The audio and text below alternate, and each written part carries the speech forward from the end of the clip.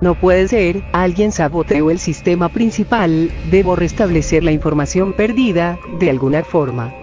No te permitiré eso. ¿Pero quién? No puede ser, ¿acaso tú ocasionaste esto? Dime por qué lo hiciste. No es asunto tuyo, así que márchate mientras te doy la espalda.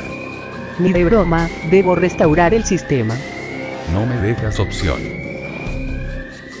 Sigues despierto, ¿no crees que sería bueno que tomes un descanso? Estoy bien, no te preocupes, y dime, ¿qué haces aquí? Terminaste de reparar la barrera de energía. Si lo hice. Buen trabajo, entonces ve, y toma un descanso.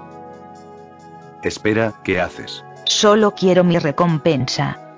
Detente, creo que fui muy claro, no puedo aceptar tus sentimientos. ¿Por qué no? Sabes que daría mi vida por ti. Sabes que amo a mi esposa.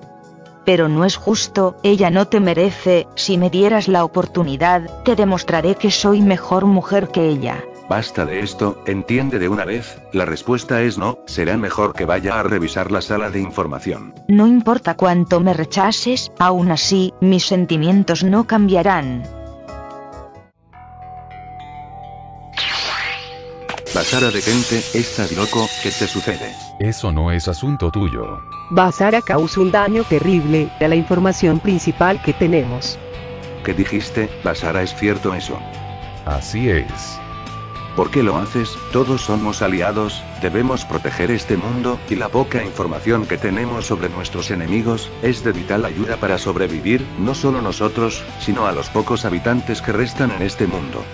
Ese no es mi problema, entérate de una vez, yo nunca fui tu aliado, así que será mejor que te prepares, la próxima vez que nos veamos, te mataré.